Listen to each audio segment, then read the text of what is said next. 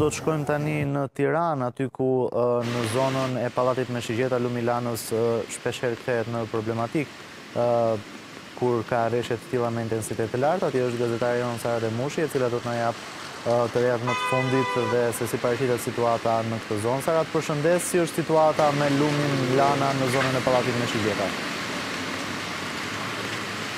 Të përshëndes Renaldo që prej mbrëmjes së shkuar kryeqyteti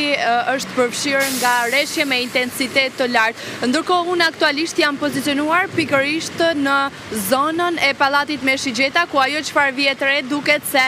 numri i lartë i makinave të cilat qarkullojnë në këtë zonë Shpesh herë bën problematike këtë zonë për shkak të trafikut që krijohet. Ndërkohë nga ana tjetër, përmes këtyre pamjeve të drejtpërdrejta që jeni duke ndjekur, duket pikërisht edhe lëvizja qarkullimi që është pikërisht në këtë zonë, që mbetet problematik, aq më tepër në një ditë me reshje me intensitet të lartë. Ndërkohë nga ana tjetër, duket se pikërisht në këtë zonë ka edhe për shkak të lumit Lana, i cili ndodhet përshkon këtë zonë, duket se intensiteti i këtij lumi është ka ndryshuar, është rritur dhe për shkak vazhdimisht kjo zonë është problematike për shkak të përmbytjeve që krijon edhe lumi i Lanës, siç e shikoni përmes Këtyre pamjeve që jemi duke transmituar në këto momente, duket se niveli i lumit të Lanës është rritur. Ndërkohë nga ana tjetër mbetet për t'u parë në vijim, pasi gjatë të gjithë ditës shërbimi meteorologjik parashikon të ketë reshje të vazhdueshme, mbetet për t'u parë nëse do të kemi edhe përmbytje në kryeqytet, pasi deri në këto momente që ne flasim nuk kemi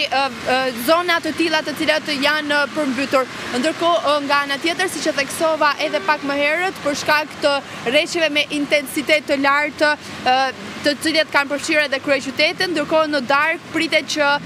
intensiteti i reshjeve të bjerë, e njëjta situatë mbetet për t'u parë deri të enjten, ku do të pritet që temperaturat të normalizohen, po ashtu edhe reshjet. Sara nga vëzhgimi që ti ke bërë këtë mëngjes në kryeqytet a ka patur problematika me trafikun edhe në zona të tjera kujtojmë që në zonën e rrugës së Elbasanit tek fakulteti i ekonomisë është një zonë problematike sa i takon edhe trafikut edhe përmbytjeve por edhe zona të tjera pranë qendrës ke parë probleme me trafikun apo me përmbytjet në këto zona?